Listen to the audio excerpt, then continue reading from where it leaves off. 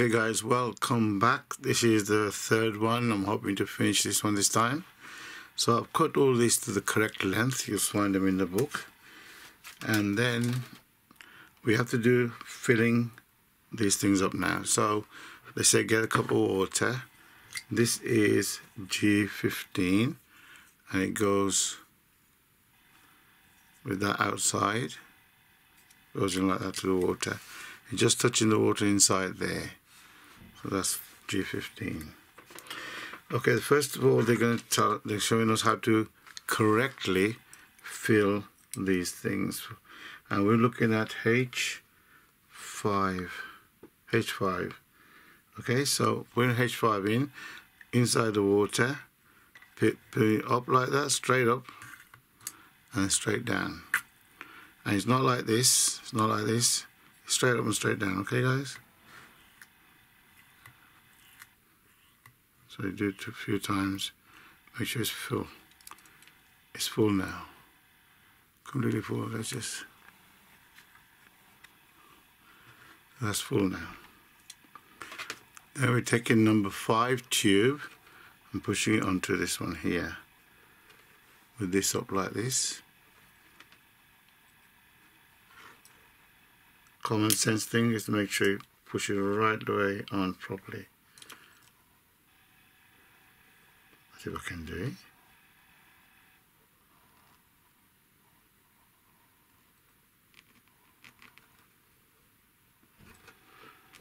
It's it's hard but it's good because it's tight then.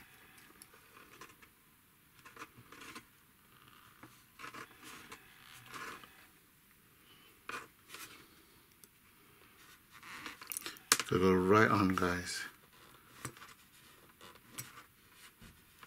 On. And don't forget they said cut the tube, uh, sorry, cut the tube straight, not like this, not like that. So now that is on. So that's H5. Then they say to, to fill the water in the tube itself, obviously, you put the tube inside here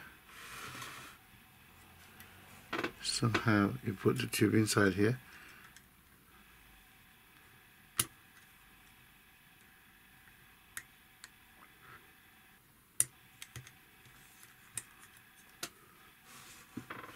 So so if you can see that there it's going into this goes into this thing here on the side there. That's in the water. And obviously you you pump this tube in and out to fill the water up.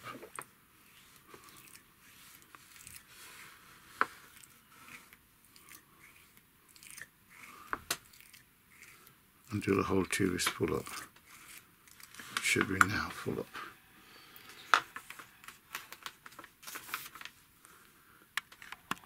So connecting H5 H5 to I5 this one is I5 and basically this cylinder is pushed down right to the bottom. Once you pump this up the water comes through all this. You push it onto here. And that is supposed to be that. That's how it is. Okay so this one's done. So I'm going to do the rest off camera. Next one is H4 to I4 and so on and so forth. Okay guys just to uh, uh, tell you about the H2 and I2. I2 is on here, it's connected there, H2 is there. I made a silly mistake, I didn't uh, cut this long enough, I think about an inch short, but we'll see how it goes. Hopefully it'll still work. Okay, this one is uh, H1 with HO and I1. Okay, so this is H1 close I can make out. Yeah, H1. So I'm going to fill this up.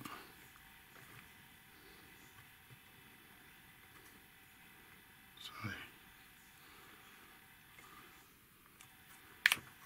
There you go.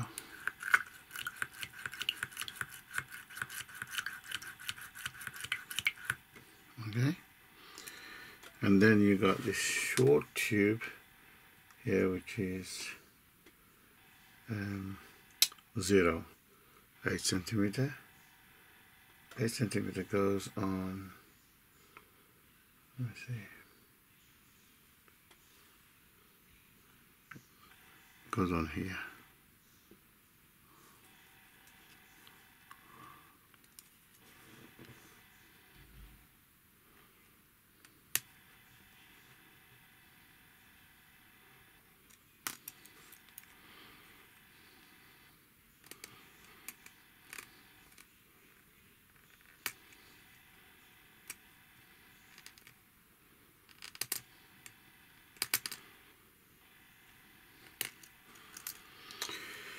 okay and then this tube you can hold it. You can hold it like this.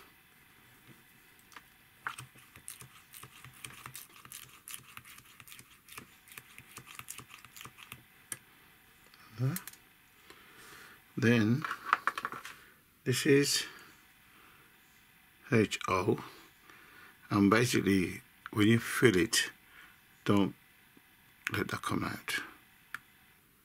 So I have to, I have to stop there like that.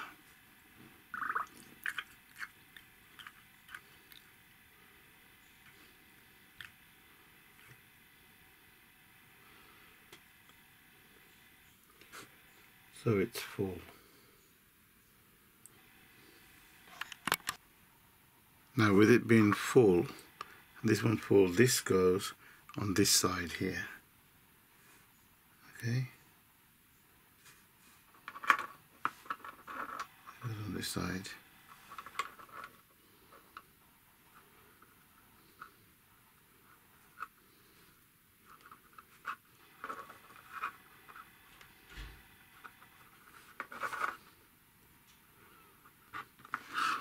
Then you got your number one tube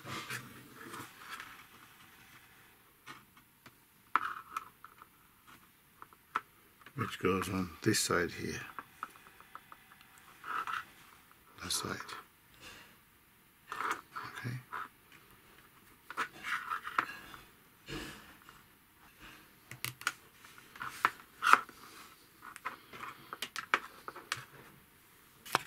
So that's where we are. This, this, this. So with that there, push this inside here. I'm sorry um, this one just touches the press down once really. I thought it tried to pump it but there you go. Leave it there. Then you take the last spring that you got large one and put that in as P12 that is.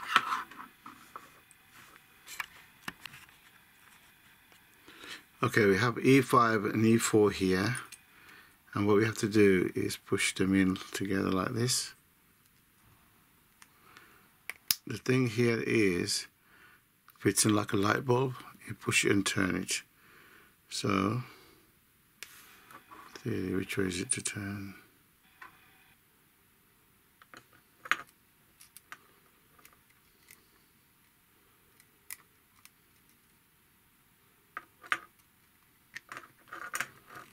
There you go. Uh, it's, it's not as hard as you think. I just have to figure it out but there you go, it's, it's turned it's tight. And that's down, by the way. When you do it, that piston is right way in.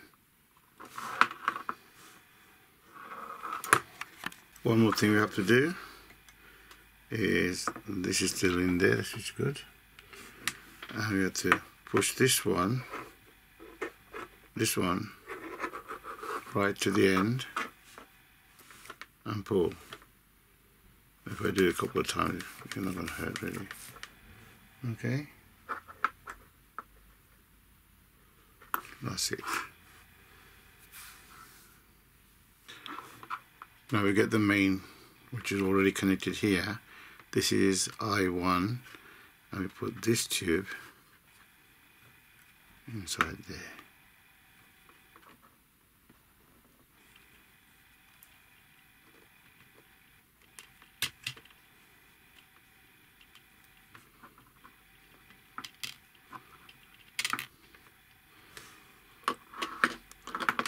That should be in theory.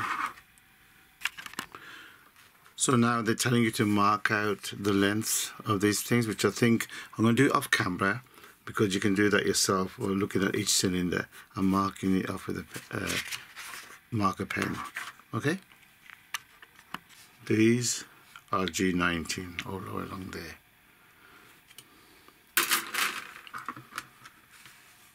That's what they are, G19. Have protruding end at the end. This is P5. There's 10 of these P5. I put these in.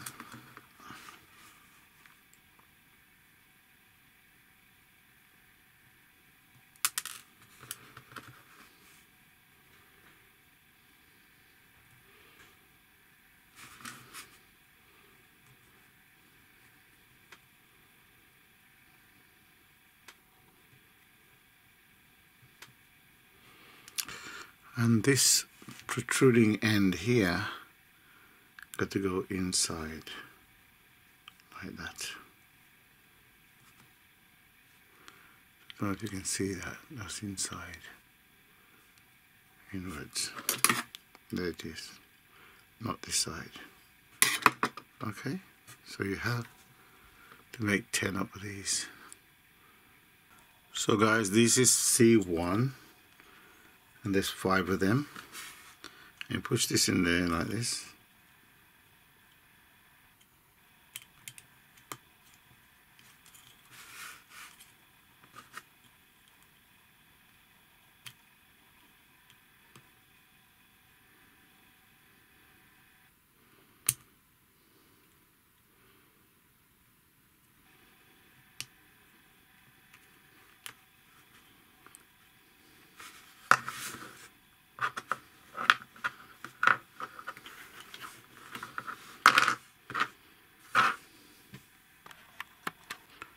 This is E29 and it goes on top of this this way around. There's a there's a groove there so that goes into that end there. There you go, like that. And of course it's screwed on. So there's five of these, I'm going to do it off camera. And there it is. Now they do different things here. This is the E28. I don't think you can see, but there's like arrows, arrows pointing, and that goes on top of here. But I know.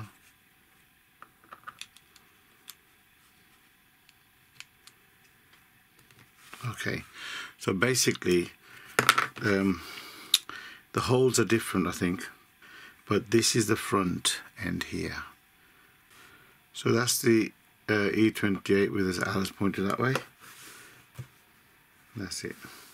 And it's supposed to be called a lever control. He's got these arrows in there, like that. Lever control.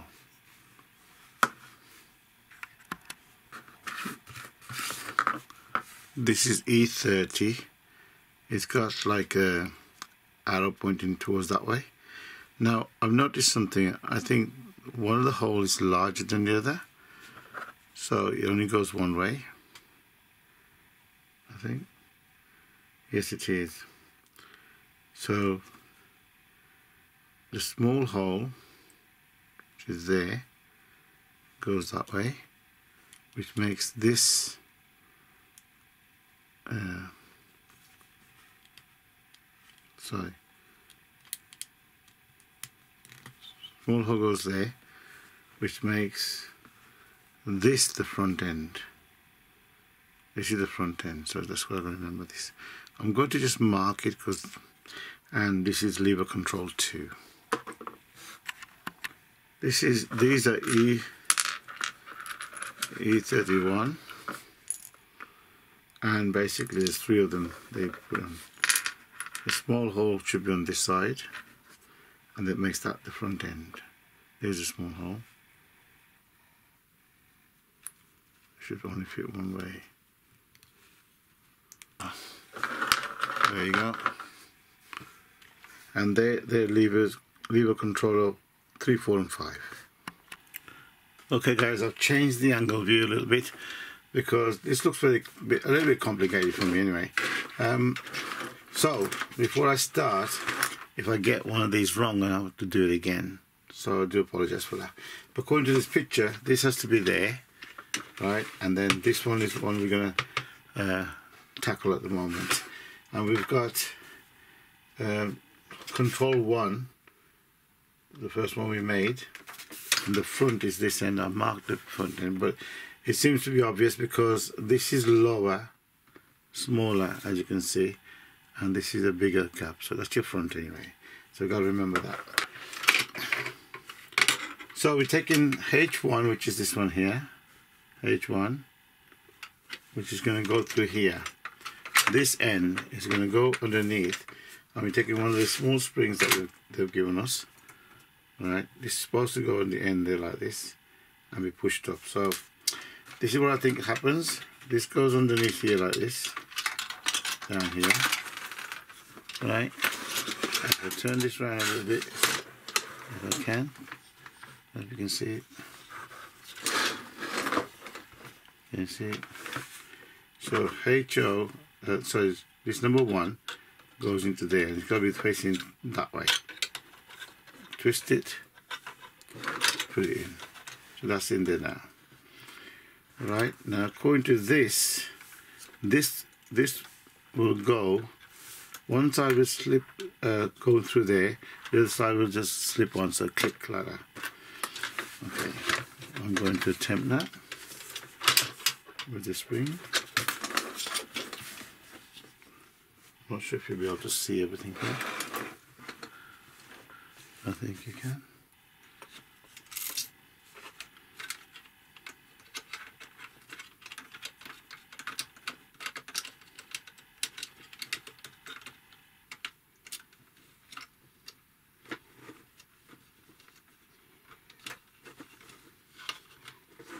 Make sure I'm facing the right. Yes, facing that the right way.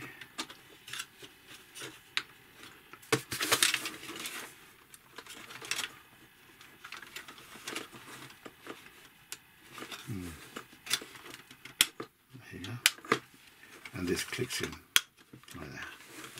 I don't know if you saw that. So that's in there now.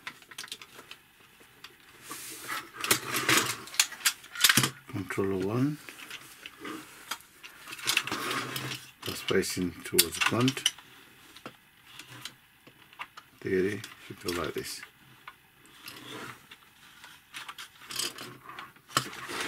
Okay. Okay so this this has to come right through. Mustn't be left out there. And we have to push this in into those clips there. That's got click okay? I'm trying to do that. Easy enough.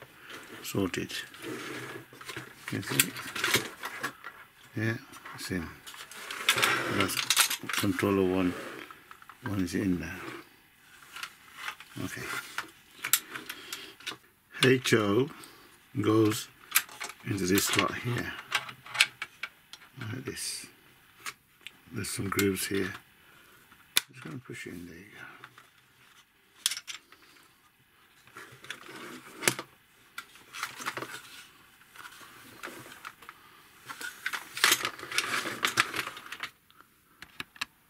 So there's HO.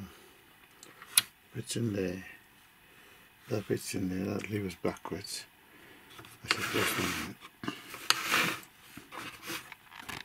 Okay, what we have is H2 now and controller 2 which got the arrows on on top there and that's going to go into lever number 2 same as we've done with this one we're going to do the same on this one I'm going to do it off camera because we've done one already don't forget the spring gotta go in there as well. So guys, H2 is in, same as the other one, and the bottom is the same. You see they're both the same. H3 guys, in the same way as the others.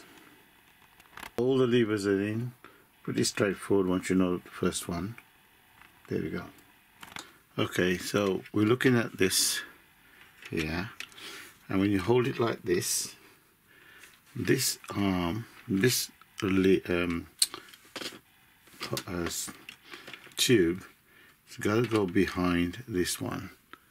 So as it is it's fine. This is this one's on top here this side. That one's behind there. That's the first thing I know.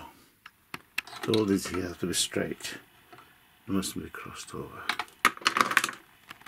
okay I had to do an overhead view because um, I can't get all the stuff in there. So basically this thing has to go on here. There's a sliding there's a slide. Oh you can't see there's a sliding there. That groove goes go in there. So basically that's got to slide on there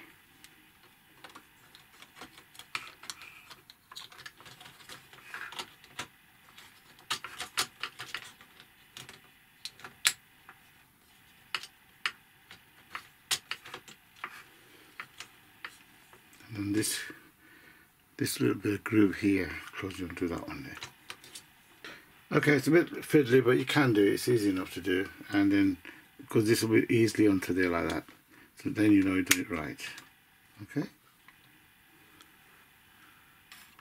also this one here goes on this side and this one underneath there this one here goes on that side and the markings are up there Okay, next one is I3. We're going to put the I3 in there. This is I3. Put that in there like that. Click it in there like that. And then there's these two go into the holes down here.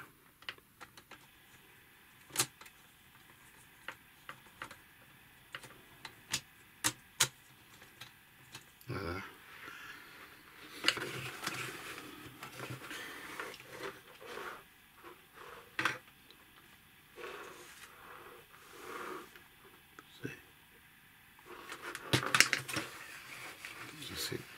Then we got C,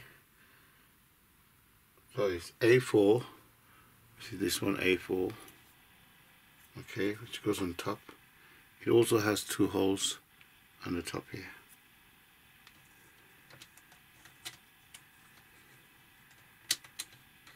Like and then we got these two, which is C7 and C8.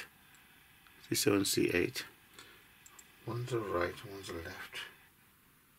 So looking at it from this point of view, this is the right, right one. It goes like this.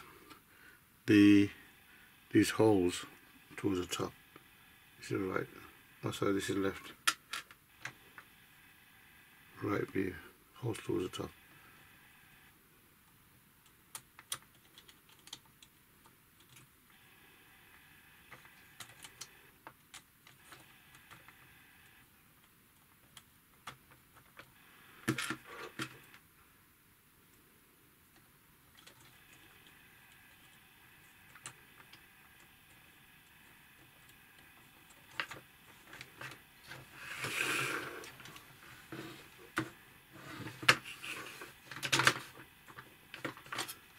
Not very secure I don't think anyway.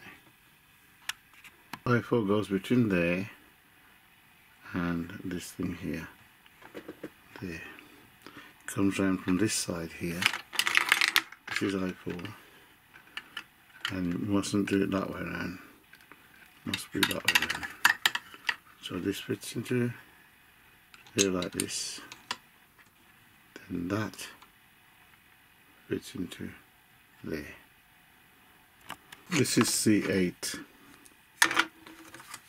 All the holes and everything's going to line up there, there, there, or everywhere. Just going to click on, click on like this. And there's C8.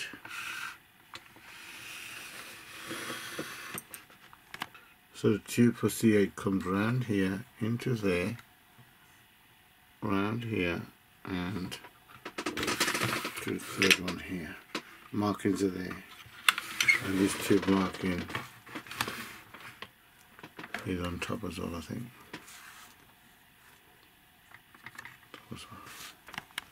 So this is i5 and basically they're saying push this control lever up so that goes up like this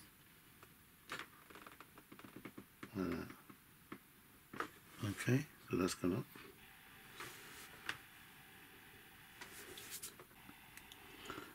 so guys I got to the end here and I found that this supposed to go there like this. Okay so uh, basically um, this is the this one's the wrong way around. It's supposed to be, that's supposed to go in there like that. So I'm going to just turn it around so whatever you see me do do that but just keep that the opposite way from what I'm showing you. So then, then it'll fit like this. Okay sorry about that. So guys it's connected now. It goes in that way. It connects into this. It clicks in there just push it hard. And this comes out this way you see. So that was the whole idea of understanding which way this was. You put E17 in, it's pretty straightforward and put it like that as well and that should be it in theory on this part anyway.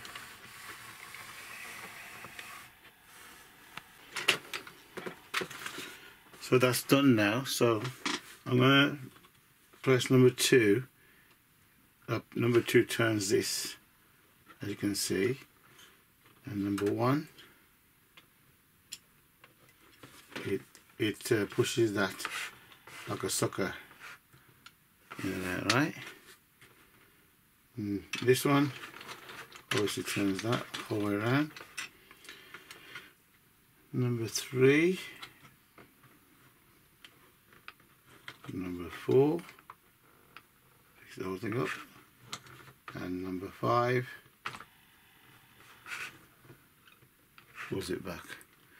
That's that's it working fine. Okay guys this is my third try to try and lift this up. Um, okay here we go. Try to anyway.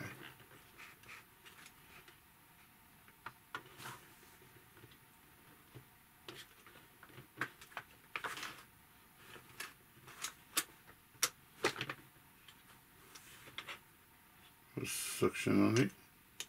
That should have sucked it. That should lift it up in theory oh it didn't suck it properly. Oh there you go. I was doing it wrong. There you go. We've done it. That's the suction mode. Now I'm going to try and put the grippers on it see what happens there. So basically guys this thing here needs to go into there and then the, the clamp it clamps down. Okay like this. It'll clamp down then so I'm going to put this on off camera now. I'll obviously one on the other side. Okay guys um, how you connect this gripper is important too. So I pull this gripper as far back as I can before I connect it and that one. So that way you've got the bigger gap here. That you can actually pick something up. Let me see if I can close it that's enough because you're going to pick something up like that anyway that's as far as wide as it'll go. Okay we'll just try and uh, grab this if we can. Um, them with the whole thing back I'm afraid and this number one is the one that grips it. Number two turns it. This one lifts it. There you go. And this one does that?